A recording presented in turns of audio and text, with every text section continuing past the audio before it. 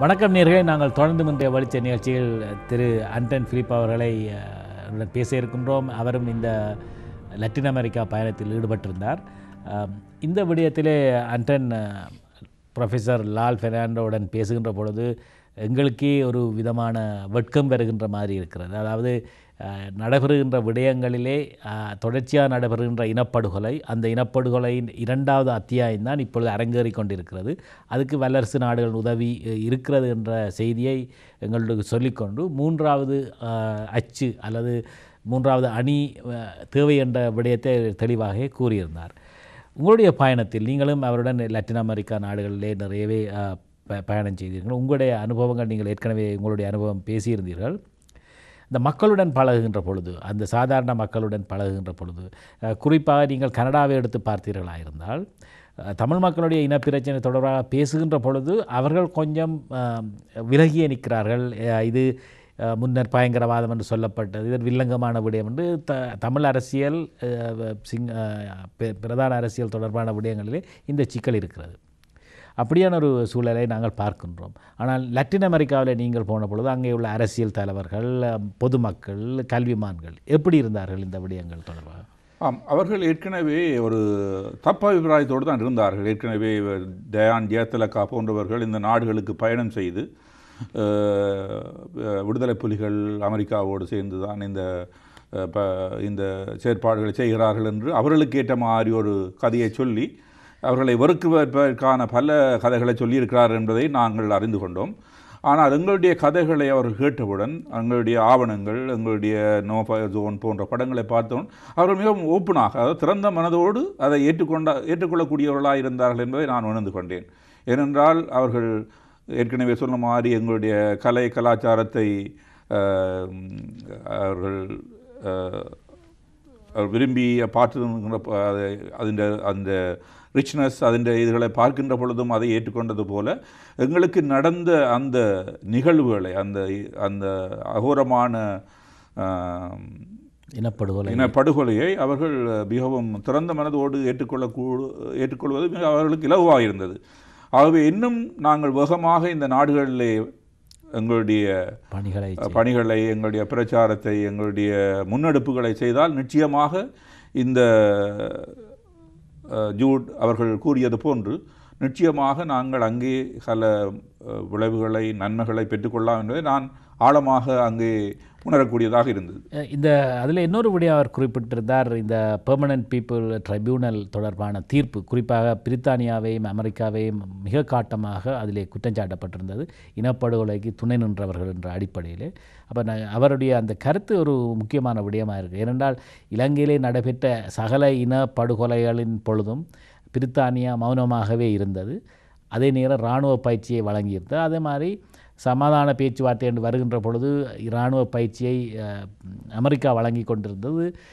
இனப்படுகொலையின் சூத்திரதாரிகள் அவர்களாக சுட்டிக்காட்டப்படுகின்றது. அப்போ அவருடைய அந்த அந்த விதமான கருத்துக்கள் தமிழர் தரப்பிலே சில விமர்சனங்கள் உருவாக்கி இருந்தாலும் அதிலே ஒரு பார்வை இருக்கத்தான் செய்கின்றது. அதை நாங்கள் நேரடியாகவே பார்த்தோம். ஆனால் இதில் மிக ஆச்சரியப்படக்கூடிய விடயம் நான் அவரை கூட கேட்டேன். அவர் ஒரு சிங்களவர். அவர் இந்த பிரச்சனையால் தன் சொந்த நாட்டுக்கே போக முடியாத எக்ஸைலாக வாழ வேண்டியது தன் நாட்டை விட்டு வெளியேறி வாழ வேண்டிய ஒரு சூழ்நிலையில் அவர் இருக்கின்றார். அப்போ இப்படியான த தமிழரே அல்லாத சிங்களவர் நாங்கள் அதே மாதிரி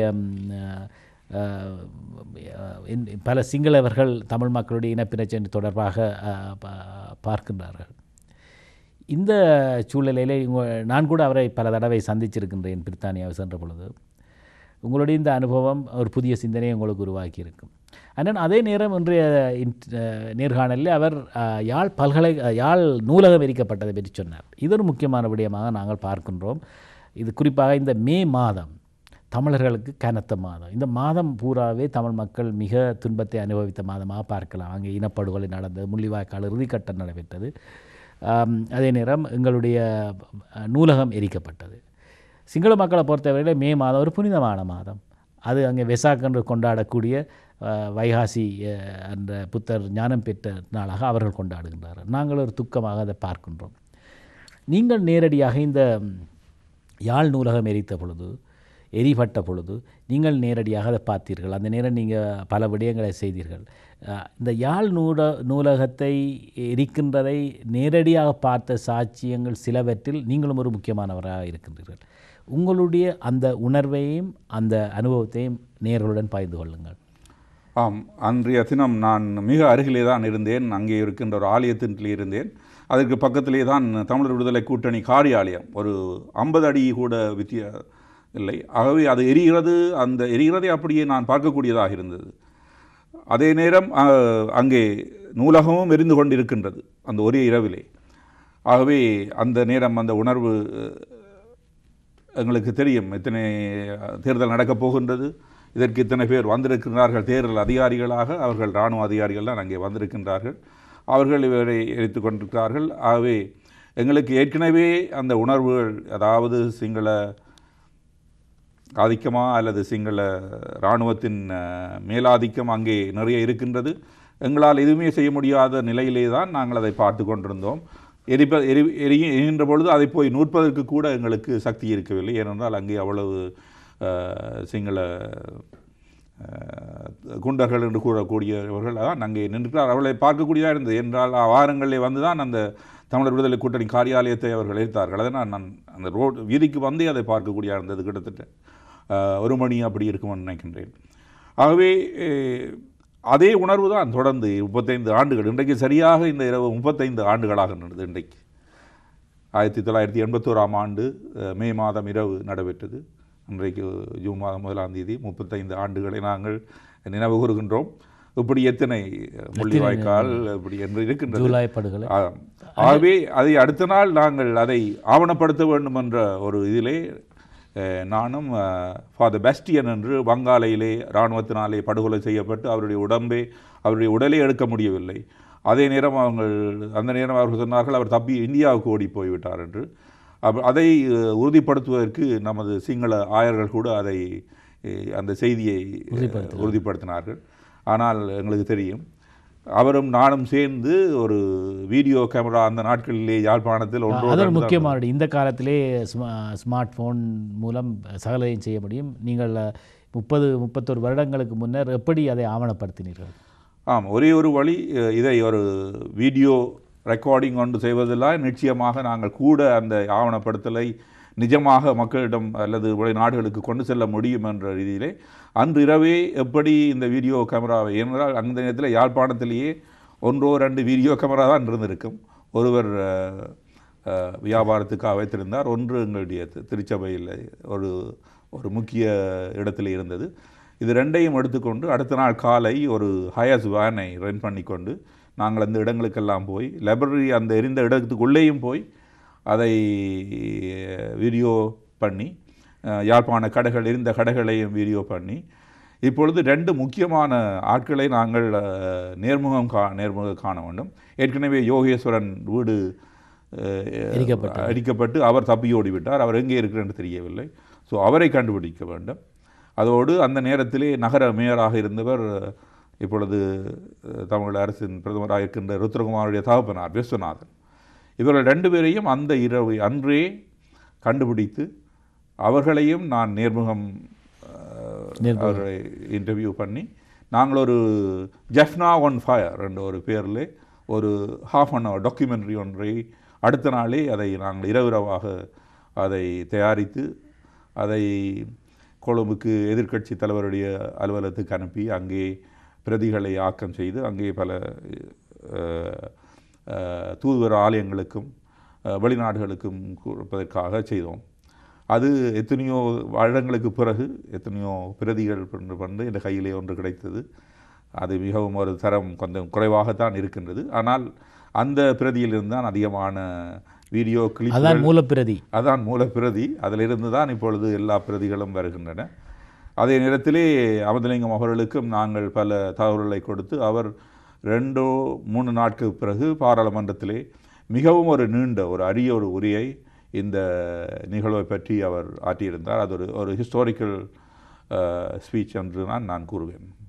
இப்போ ஆண்டன் இது நீங்கள் சொன்னது போல் இந்த பல ஆண்டு நிறைவுகளை நாங்கள் பார்க்கின்றோம். இந்த யாழ் நூலகம் எரிக்கப்பட்டது எரிக்கப்பட்டதுதான் அப்பட்டமான ஒரு இன கல்ச்சரல் ஜெனோசைடினுடைய ஒரு முக்கியமான விடயமாக இருந்தது.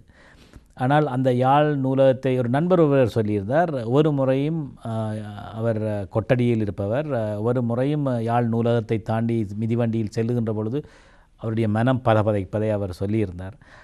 ஒரு சிலர் தான் இப்பொழுதும் அந்த அந்த காய அதை ஒரு காயமாக இதயத்தில் தாங்கி இருக்கிறார்கள் யாழ் நூலகம் இப்பொழுது மறுசீரமைக்கப்பட்டிருந்தாலும் அந்த இனப்படுகொலையின் வடு அங்கே இருக்கிறது. அது தொடர்ச்சியாக செய்யப்படுகிறது.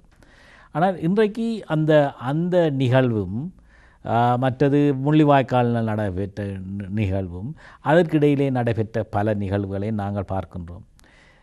அப்போ இவை என்ன எப்படி ஒரு முடிவுக்கு வருமா? அல்லது புதிய வடிவத்தில் இது வருவதாக லால் சொன்னார். அதாவது இப்பொழுது நல்லிணக்கமும் புதிய அரசியல் யாப்பும் வந்து தமிழருக்கு எதிரான இனப்படுகொலையின் ரெண்டாவது அத்தியாயம் ஆரம்பமாகிறதுன்னு சொன்னார். உங்களுடைய பார்வையில் இவையெல்லாம் எப்படி போய் முடிய போகிறேன்னு நினைக்கின்றீர்கள்? ஒரு பக்கம் எங்களுடைய மக்களை பற்றி சிந்திக்கின்ற பொழுது அதிகமானோர் இதை மறந்து விட்டதாக தான் தெரிகின்றது. ஒரு சிலர் ஆர்வமாக இதிலே செயல்பாட்டிலே ஈடுபட்டிருக்கின்றார்கள்.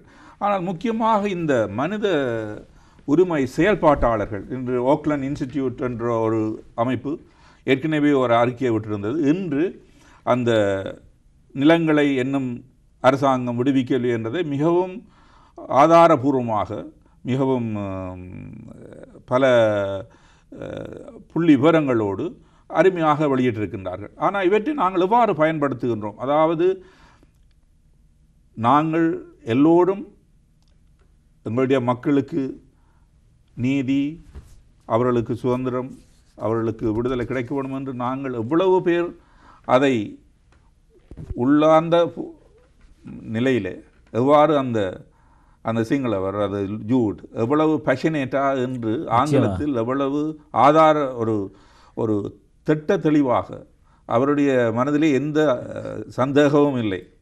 இதுதான் நடக்கின்றது. இதைத்தான் நான் வந்து எனது தொழிலிலும் நான் எங்கே போனாலும் நான் அதை செய்து நிச்சயமா அவர் கொரியாவில் போய் செய்ததை அவர் சொல்லும் பொழுது அவர் அவருடைய உரையை கேட்டு நாங்கள் பல பேர் கொஞ்சம் சிந்திக்க வேண்டிய ஒரு நிலையிலே தள்ளப்பட்டிருக்கிறோம். நானும் கூட. நிச்சயமா. அதாவது அவர் அந்த தமிழர் மக்களுடைய விடுதலை என்ற தீபத்தை அவர்தான் இப்போ உயரப்படுத்தியிருக்கின்றார். நாங்கள் எல்லாம் எங்கேயோ நிற்கிற போன்ற ஒரு உணர்வை அவர் ஏற்படுத்தியிருந்தார்.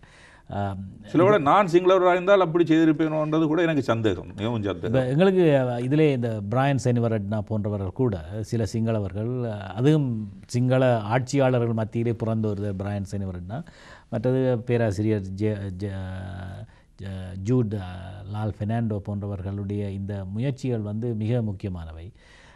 சில சமயம் எங்களையும் சிந்திக்க தூண்டுற இன்னொரு விடயத்தை அவர் சொல்லிச் சென்றார் நீங்கள் வேறு விதமாக சிந்தியுங்கள் தமிழர்களே. இந்த ஐன்ஸ்டீனுடைய ஒரு ப- பழமொழி இருக்கிறது. அவருடைய ஒரு ஸ்டேட்மெண்ட் ஒன்று இருக்குது எந்த சிஸ்டம் இந்த ஃபெயிலியரை கொண்டு வந்ததோ அதே சிஸ்டத்தை வச்சுக்கொண்டு நீங்கள் தீர்வு கண்டுபிடிக்க முடியாதுன்ட்டு. தமிழ் மக்களுக்கு இன்றைக்கு எந்த சிஸ்டம் ஃபெயிலியரை தந்ததோ இனப்படுகொலை தந்ததோ அதே சிஸ்டத்தை பயன்படுத்தி நாங்கள் தீர்வு காண முயல்கின்றோம் என்ற வடிவத்திலே அன்று ஐன்ஸ்டைன் சொன்னதை இவர் தன்னுடைய வார்த்தையிலே சொல்லியிருந்தார். அன்றன் நாங்கள் இந்த நிகழ்ச்சியின் இறுதிக்கு வந்திருக்கின்றோம். நீங்கள் நிறையவே இந்த விடயங்களில் ஈடுபட்டு கொண்டிருக்கிறீர்கள். எங்களுடைய நேர்களுக்கு நீங்கள் முப்பத்தொரு வருஷத்துக்கு முந்தியிலேயே இந்த விடயங்களில் ஈடுபட்ட ஒருவர் என்பது பலருக்கு தெரிந்திருக்கும் தெரியாதவர்கள் இன்றைக்கு தெரிந்திருக்கிறார்கள். நீங்கள் உங்களுடைய பயணமும் மிக நீண்டதாமா நீண்டதாக இருக்கின்றது. அண்ட் நீங்கள் வேறு ஏதாவது குறிப்பாக உங்களுடைய பயணத்திலே ஏதாவது சொல்ல இருந்தால் சொல்லுங்கள். நாங்கள் நிகழ்ச்சியை முடிவு கொண்டு வருவோம் ஆம் நிச்சயமாக நாங்கள் புதிதாக சிந்திக்க வேண்டும் புதிய முறையிலே சிந்திக்க வேண்டும். நாங்கள் பல நீங்களும் பல ப்ரொஃபஷனல் ட்ரைனிங் அதில் போனால் சொல்லுவாங்க பாக்ஸுக்குள்ளே இருந்து out sitting outside the box go outside the box வாங்க அதே மாதிரி நாங்கள் உள்ளத்திலே நாங்கள் தெளிவு பெற்றவர்களாக உள்ள சுத்தி உடையவர்களாக நாங்கள் மக்களுக்கு நிச்சயம் அது அது எங்களோட வாழ்க்கை ஒன்று முடிய போகின்றது. அதுக்கு முன்பு நாங்கள் ஏதாவது ஒன்று நல்லதை செய்துவிட்டு சாக வேண்டும் என்று சொல்லும்போது தான் ஒரு விடயம் தெரிகிறது. பேராசிரியர் ஜூட் அவர்கள் மிக தெளிவாக இருக்கின்றார். அவருக்கு தயக்கம் எதுவுமே இல்லை. எங்களில் பலருக்கு தெளிவும் இருக்கிறது. அதை தாண்டி தயக்கங்கள் பல இருக்கின்றன. பல பல காரணங்கள் எங்களுக்கு இருக்கின்றது அந்த தெளிவையும் மழுங்கடிக்க செய்கின்றது. அப்போ நாங்கள் இந்த தெளிவை தெளிவாக தெளிவு வர வேண்டிய ஒரு சூழ்நிலையில் இருப்பதை சுட்டி சுட்டிக்காட்டியிருந்தார். அண்ணன் நீங்களும் இந்த நேரத்தில் எங்களுடன் பங்குபற்றி இந்த வெளிச்ச நிகழ்ச்சியில் பங்குவற்றியமைக்கு நன்றியை கூறிக்கொண்டு இப்படியான பணிகளை தொடர்ந்து செய்யுங்கள். இது ஒரு மிக முக்கியமானது. எங்களுடைய மாற்றி மாற்றி யோசிக்கின்ற ஒரு நிலைப்பாட்டை உருவாக்கக்கூடியதாக இருக்கும். நன்றி வணக்கம். மீண்டும் ஒரு பொழுது உங்களை சந்திக்கும் சந்திப்போம். நேர்களுக்கும் வணக்கம் கூறி விடைபெறுகின்றோம். இன்னொரு வெளிச்ச நிகழ்ச்சியை சந்திக்கும் வரை வணக்கம்.